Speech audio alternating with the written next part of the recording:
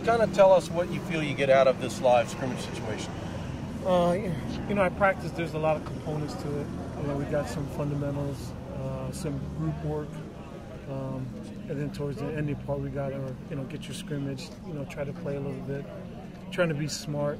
You know, because you got to play and get some live work, but just got to be smart. Unfortunately, see a couple guys that are injured already. So. Well, I was just say Jamal Daniel. I was going to ask about it. I noticed how fast he was on a punt return. He really scoots, and then the next thing you know, he's hurt his ankle. You know, it's unfortunate it's football. You know, what I mean, we, we try to be smart, and when we hit, when we tackle, um, unfortunately, guys got hurt. But you know, sad for him because he, he had a really good day today. You know, the kids been doing some good things, but you know, trying to play a little bit, trying to get to see some young guys see them play, you know, under game-like situations. Had some officials here, move the sticks a little bit. Um, just try to get some game, you know, components and elements to the game. When I first got out of here, Quentin Ezell broke like a 60-yard run. Uh, showed some speed, some breakaway speed, which I didn't know he had. Uh, do you think Quentin could be a factor next year? Definitely. I mean, we're really excited about our fullback position. We've never had, you know, our starters 245, Quinn's 250, and, and Sean White's 255 and they all can move. They all got great feet. Um, as athletic and as big a fullback group that we've ever had. So really excited about that group. Do you think it speaks volumes? Uh, last year, all, all those guys you mentioned were on special teams. When you got big fullbacks on special teams, it shows a level of athleticism. That, you know, I don't know how often. Uh, it's been a while since you had that many fullbacks playing special teams. And then we got you know some other young guys that are 225. You know, you kind of look at that like they're small, but we got some other big guys, mm-hmm. you know, behind them. Chris High is a young guy that we're excited Huntsman. I noticed. Yeah, um, Huntsman, uh, Miles Swain, mm-hmm. you know, and we moved uh, Jalen Wade there. Mm-hmm. You know, it's 235. You know, so we we've never had this kind of size at fullback. At A-back, we're still midgets, but right. at other position, we're pretty good talk about having the officials here. What does that do? I noticed that afterwards they gave you some pointers or talked to the kids about things that they noticed. And these are American Athletic Conference officials, which is important as well because that's who you're going to be dealing with. Yeah, these, these are our officials, so we get an opportunity to have them come in all of our drills, you know, and call pass interference or holding, and they can explain what you did wrong just for a learning, you know, learning situation. Uh, the thing I'm excited when they always come is just the tempo changes a little bit, mm-hmm. you know. So plus there's a lot of arguing amongst the coaches. That was holding, that wasn't right. holding, you know. Uh, so we just turn it over to the officials and let them do their deal. Plus, they go over all the new rules right, right. to make sure that we're ready. There's not many new rules, but there's a few that they go over. Was there is there a plan to have the officials come back again before the end of spring? For the end of spring, probably. No. They're just making their rounds. Yeah. Can you talk about the hiring of Preston Pearson and why you felt that was important for the program? Well, he's a guy that's done a great job, you know, at Georgia Tech. Um, really, I got to see some of his stuff because uh, his recruiting stuff. He was recruiting my son. Right. Well, he's always posted on social media. I kind of I mean, follow him too. He's very active. Very active, and this is a different world that we live in. You know, so looking for young guys that understand social media, how vital it is in recruiting. Uh, you know, very he's very adept to that. He's very very good at it. But the world is changing in recruiting. You know, the, the big schools have a they basically have their own personnel department and guys are just recruiting all day. You know, the, the, big schools, like I said, might have 10, 15 guys, and that's all they do all day. Don't coach, don't do anything. They just go and recruit, watch tape, you know. Um, and so what we're trying to do is try to catch up. You know, I mean, we're, a long ways off, but we got to stay up with the Jones, especially in recruiting. You know, I was going to say with uh, Sean McGee and Preston now in that department, you're only about 20 guys behind Alabama. what? But do you think Preston's familiarity with Navy, growing up as a Navy guy with his dad being the coach here, does that a, a factor? Do you think it helps him? He understands what this place is about. Well, he was with Coach Johnson for four years, so he's been at a big time program. So he knows, you know, what they did there in the ACC. He knows who we are and what we're looking for. Uh, he understands our offense, you know, so as you know stuff that they look at on tape. Obviously, we, the coaches, do the ultimate mm-hmm. evaluation, but you know, you got another group of guys that just kind of uh, look at the initial stuff, you know, because I mean? we ultimately got to make the final decision we're looking at. But it's the way of the world now. Everybody's got huge recruiting departments. you know, to get going recruiting, and we just got to try to catch up. So did Coach Johnson give Preston a good recommendation? Uh, I actually don't know. but I know he would have. I know he, I know he would have given a good recommendation.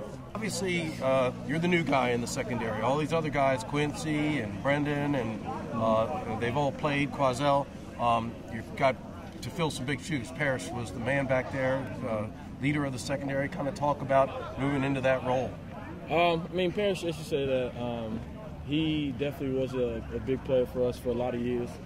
But I mean, the way I see it is, I mean, the best way I can fill that role is with my play. I mean, I can talk about it, but that's not going to do much for wins. So, um, Parrish is definitely going to be big shoes to fill, but so was Trevez, so was Wave, so was Chris Ferguson, so was you know George Jameson. So, I mean, we do it. So it's just going to trust the system and try to help get those W's best way I can.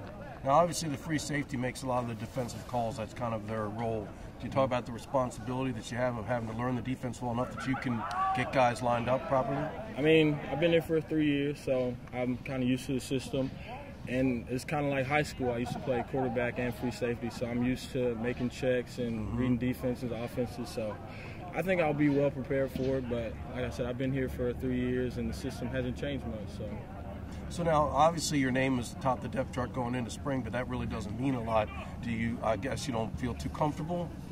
I mean, you can never get comfortable. I mean, especially the way we run our system, everybody has a chance to play, whether you're a freshman, and you can see that with everybody else in the secondary. Whether you're a freshman or you're upper class, you always have a shot. So I just got to come out every day and try to be the best me that I can be, and hope that's good enough. All right, thanks. I want to talk to you a little bit about the secondary. Uh, obviously you got two good corners coming back with Quincy and Brendan, so that's you've got to feel good there. Um, Kwazel started some last year, but then lost the job to George. Uh, let's start with him. What does Kwazel got to do to step up? Because you know, at the end of the year, he did lose his starting job. Yeah, I, you know, we all got to get better. I mean, uh, every individual spot, but uh, both corners, you know, finished the season uh, solid at that position. So I think, you know, that I'd say unless somebody jumps out right now, they can always lose their job, but uh, they've been performing pretty good. Kwazel, uh, you know, had that spot, lost it, uh, you know, made transition from corner to rover. Mm-hmm. I did a pretty good job, but uh, you know, he's got to get better, and we're depending on him to be a, a better football player this year. Uh, did some good things last year, but uh, George, you know, came in last year, did a better job, so we stuck with him about the last part of the season. But uh, Tez, you know, it's his time. He's been a really good special teams player. Uh, it's his time to step in that spot. You know, he's got big shoes to fill with uh, Parrish Gaines uh, leaving, and uh, uh, you know he's one of the primary guys for that spot. But uh, yeah, we got a lot of competition, but those are the main guys right now the first group. Well, I was just talking to Lorentez, and obviously the free safety makes a lot of the calls mm-hmm. in your mm-hmm. system. He's got to get people lined up, so that's a big responsibility. You can trust Parrish to do that.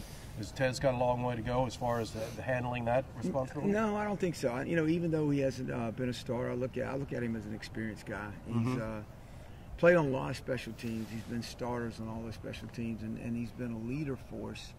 Uh, even though you know he hasn't been that guy or that starter at, in, in the secondary, so uh, I have a lot of confidence in him because he's, he's a smart guy, uh, a lot of confidence, and uh, you know I, I, think we're in good hands. I, he's going to keep getting better, but I've got a lot of a lot of confidence in Tez. Well, just talking to him right now, he seems like a pretty confident kid. I mean, he looks he, just in his voice, I can hear a belief in himself. To use yeah, he, he, he, does, he, and the reason because uh, it's not like he's going to step out in the lights for the first time and, and play, and he's uh, performed really well on special teams. You know, as a starter on punt, but return, kickoff, and has uh, you know been a physical player for us. So we've got a lot of confidence in uh, his abilities and what he can do. So you know, it's uh, it's wide open and it's uh, you know not etched in stone right now, but I, I think uh, I've got a lot of confidence in Tez.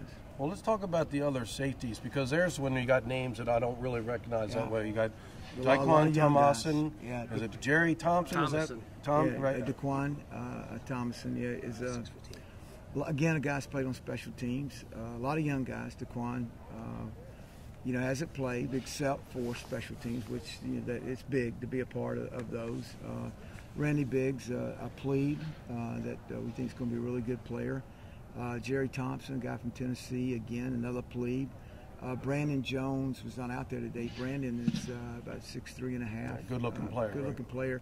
He's had pneumonia. hadn't got to you know we haven't seen him in, uh, since the first shorts practice, but uh, you know he's that's Isaac Wright, uh, another guy. But uh, you know we, we've got some good competition. To, uh, you know Justin Norton, who's had a banged up knee, kid from Texas, another plebe.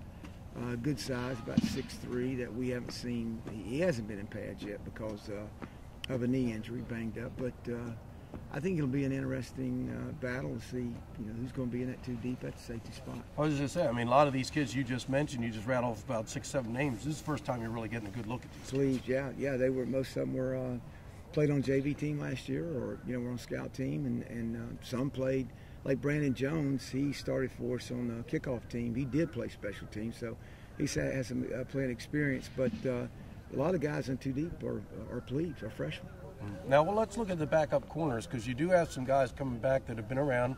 Shelly White. I mean, is, is it time for Shelly White to? Shelley's in the battle. We've got a, uh, you know, Shelley White, uh, Cameron Bryant, uh, Elijah uh, Merchant, uh, you know, George Schultz, uh, Devin Harris, uh, Abdul Mahid. We we've got about uh, five, six guys that right now you can throw a blanket, and they're all about you know close to the same, except for Shelley. Shelley's had playing experience. Right, he's a Uh, little more experienced yeah, than some of those other guys you mentioned. Uh, made a couple of really nice plays in the bowl game last year on the kickoff team that uh, were, were critical at the right at the end of the game. But uh, you know, it's right now. It's you know, it's anybody's uh, you know has that chance to grab a plate, break somebody's plate, and get out there and play right now because it's uh, they're all about the same. They're all about the same. You know, uh, Cameron Bryant uh, the last couple of days has shown me some things I've been waiting on. I've been waiting on him to you know, to, to make a step up. Uh, Kyle Battle, another guy that I'm waiting. You know, he's going to be a junior. It's his time to step up and make some plays. I mean, it's uh,